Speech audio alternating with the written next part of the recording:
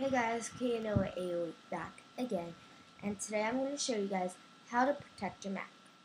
And people say, when you protect your Mac, aren't you guys talking about viruses? And I just say, yes. And then they're like, well, Macs can get viruses. Um, okay, so this is how it works. Um, let's say that 85% of the economy is PC owners, and the rest is Mac owners. If you're a hacker, would you spend time hacking the Macs or the PCs? I'd spend time hacking the PCs.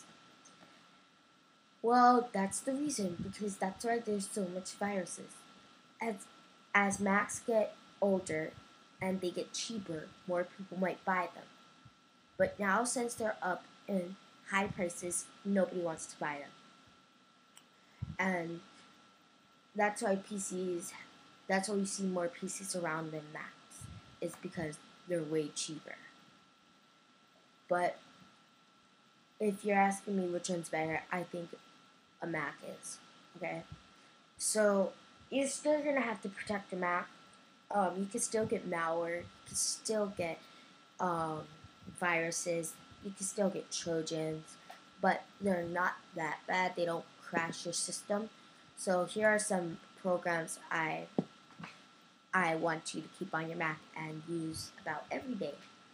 First is iAntivirus. This is a free download. Go ahead, click in the description, use it right now. And ClamXav is in the description. It's free. Click it right now. So here is the iAntivirus. Sorry. As you guys can see, I'm scanning right now. I'll cancel scan. Okay, and um, it'll look like this when you first get it up. And uh, what I want you guys to do, if this is not on, click it. If um, if, if it has a check, if it has an X, go ahead click it. You always want to be protected. And then click scan my Mac. And then usually I'll be on quick scan but go to normal scan and then start scan. Okay, I'm just going to keep that in the corner. Next application was ClamXav. I'm scanning it right now.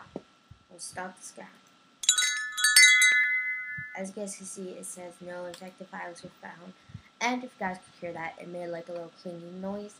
So start the scan and then go into your Macintosh HD, show invisible items, and then click open. This will scan everything on your computer. That means it'll find every virus, every file if it's infected. Over here you can also do that.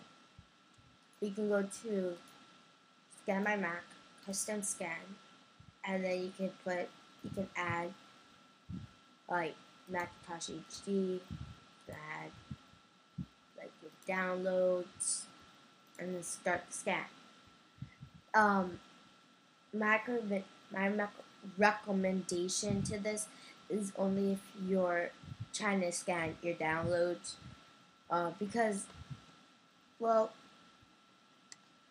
it takes more time. And this one, um, it just starts scanning everything and it's very thorough. So I'm going to go ahead and click out of this. Uh, so yeah, those are the three two applications that will be in the description. And I'll also link um, Apple Soldier's video to this. And check out his channel. Rate, comment, subscribe to me and him. Peace.